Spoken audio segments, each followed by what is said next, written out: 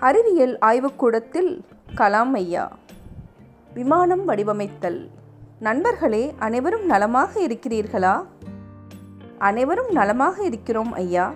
ஒரு சிறுமி கலாம் ஐயாவை பார்த்து ஒரு போர் விமானத்தை வடிவமைக்க நீங்கள் எவ்வாறு தூண்டப்பட்டீர்கள் என்று எங்களுக்கு சொல்ல முடியுமா ஐயா? கட்டாயம் சொல்கிறேன். கதை கேட்க தயாராக இருக்கிறீர்களா? நானும் எனது நண்பர்களும் தினமும் பள்ளியிலிருந்து வீட்டிற்கு செல்வது வழக்கம். வரும் வழியில் நாங்கள் குளத்தின் அருகே ஓய்வு எடுப்பது வழக்கம்.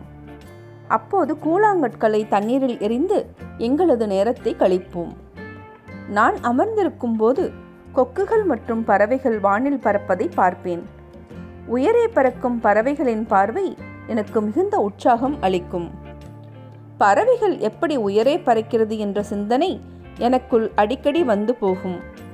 என்னுடைய எதிர்கால கனவு எப்படி உயரே பறப்பது வடிவமைப்பது என்று மனதில் வந்து போவதால் எப்படியாவது சாதிக்க வேண்டும் என்ற எண்ணமும் வந்தது. எனது கனவுகளை நிறைவேற்ற நான் பொறியியல் கல்லூரிக்கு சென்று பயில வேண்டும். பிறகு எம்ஐடி என்று சொல்லப்படும் மெட்ராஸ் தொழில்நுட்ப நிறுவனம் தென்னிந்தியாவில் தொழில்நுட்ப ஆய்வுகளுக்கான சிறந்த நிறுவனம் ஆகும். ஆகையால் அத்தகைய புகழ்பெற்ற கல்லூரியில் படிக்க எனக்கு உதவித்தொகை பெற நான் இரவும் பகலும் படித்து முன்னேறினேன்.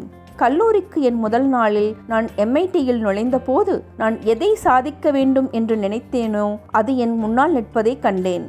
எம்ஐடி வளாகத்தில் இரண்டு பெரிய விமானங்கள் காட்சிக்கு வைக்கப்பட்டு இருக்கும் நான் அடிக்கடி விமானங்களை பார்த்து தெரிந்து கொள்ள பழகினேன். விமானங்களின் வடிவமைப்பின் விவரங்களால் மிகவும் ஈர்க்கப்பட்டேன். அத்தகைய விமானத்தை நான் உருவாக்க விரும்ப ஆசைப்பட்டேன். எம்ஐடியில் எனது இறுதி திட்டத்திற்காக மற்ற நான்கு தோழர்கள் குழுவுடன் ஒரு விமானம் வடிவமைக்கும்படி கேட்கப்பட்டது. அதனால் நாங்கள் நால்வரும் என்ன வேலை செய்வது என்பது பற்றி பகிர்ந்து கொண்டோம்.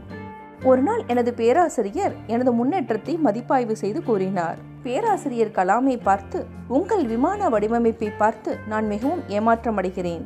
நான் உங்களிடமிருந்து இன்னும் அதிகமாக எதிர்பார்க்கிறேன் என்று சொன்னார். எனது வடிவமைப்பை பற்றி பேராசிரியரிடம் விளக்க முயற்சி செய்தேன்.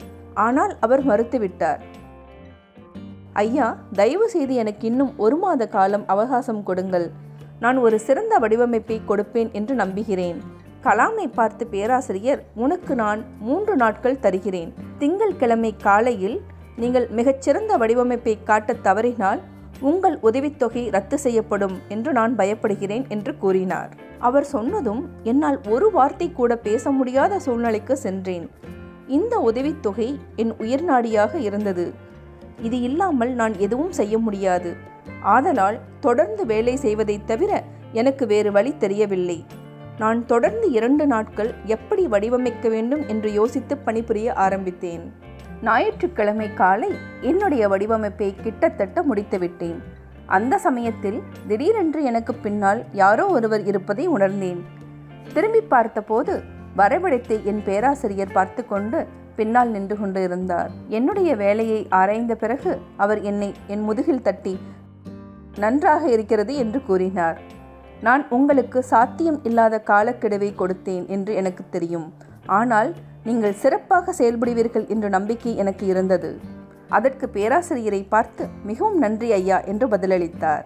பேராசிரியரின் வார்த்தையில் நான் மிகுந்த சந்தோஷம் அடைந்தேன். இதனால் எனது உதவித்தொகை தொடர்ந்தது. நான் எம்ஐடியில் மிகச்சிறந்த மதிப்பெண்களுடன் பட்டம் பெற்றேன். ஒரு விமானத்தை எப்படி வெற்றிகரமாக வடிவமைக்க வேண்டும் என்பது பற்றி எனது இலக்கை நான் நிறைவேற்றியிருந்தேன்.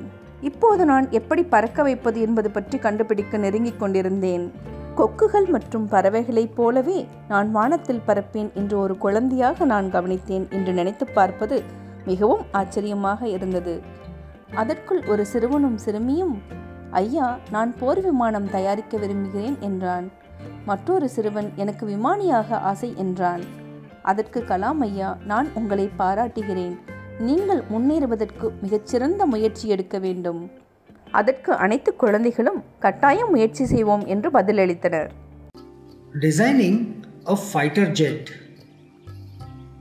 Hello, friends. How are you all? Hello, sir. We are fine. Sir, can you tell us how were you inspired to design a fighter jet? Sure. Me and my friends used to walk back home from school every day. On the way, we often rested near our village pond. We used to enjoy our time by throwing pebbles in the water. I would often sit and watch the cranes and seagulls fly in the sky. The sight of those birds inspired me and I dreamt of my future. As I grew older, my goal became clearer. I have to go to an engineering college to fulfill my dreams.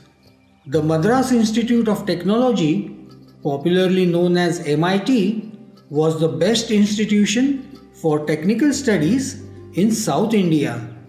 I studied day and night to win a scholarship that allowed me to study in such a reputed college. On my first day to college, when I entered MIT, I saw my goal standing in front of me. The MIT campus had two large aircrafts on display. I was fascinated by the details of the design. Even I want to create such an aircraft. For my final project at MIT, I was asked to design a fighter jet with a team of four other classmates. We distributed the work among us. One day, my teacher reviewed my progress and said, Abdul, I am really disappointed with your design. I had expected much more from you. I tried to explain the design to my teacher, but my teacher refused to listen. Sir, please give me one more month. I am sure I will come up with a better design. Abdul, I will give you three days. If on Monday morning you fail to show me a better design, I am afraid your scholarship will be cancelled. I was speechless. The scholarship was my lifeline. I would be helpless without it. I had no choice but to keep on working. I continuously kept working on the design for two days. On Sunday morning, I had almost completed the design when I suddenly felt a presence behind me. My teacher was standing behind me and looking at my drawing. After examining my work, he patted me on my back and said, I knew I was putting you under pressure by asking you to meet an impossible deadline, but I was sure that you will perform well. Thank you, sir. It was a huge sense of joy and relief. My scholarship was continued and I graduated from MIT with outstanding marks. I had already accomplished my goal of successfully designing an aircraft, and now I was drawing close to my dream of flying one too. It was amazing to think that just like the cranes and seagulls I had observed as a child, I would soon fly in the sky. Sir, even I want to design a fighter jet. Sir, I want to become a pilot. Very good. But for that, you have to study hard. We will, sir.